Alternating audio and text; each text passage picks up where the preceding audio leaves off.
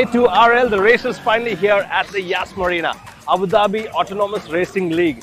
This is a race for the first time ever in the world where the cars are driverless and the coders are behind the scenes racing their machines with algorithms and codes that basically define the way the cars react on the track. Let's go check it out.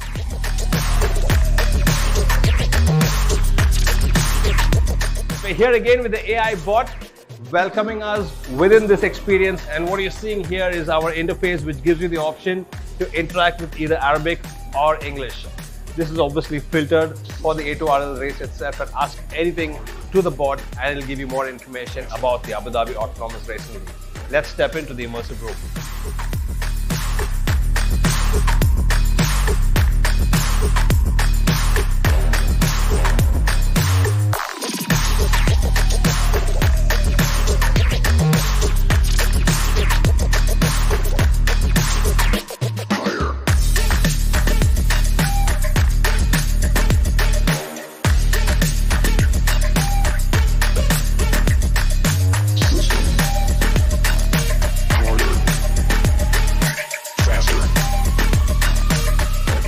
This groundbreaking autonomous racing series is coming for the first time in the world in Abu Dhabi at the Yas Marina with 10 teams from across the globe competing for the title and a prize money of over $2 million.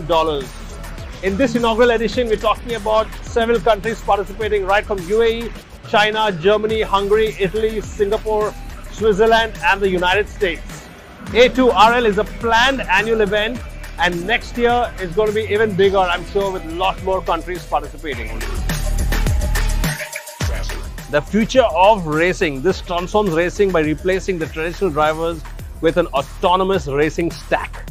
This advanced system uses cameras, radars, and GPS to drive the car autonomously, processing vast sensor data to navigate the outmaneuver competitors efficiently. The true drivers are the coders in this place whose skills determine victory on the racetrack. This isn't just a race, it's a showcase of coding excellence. Join us as we redefine motorsport in the era of autonomous racing.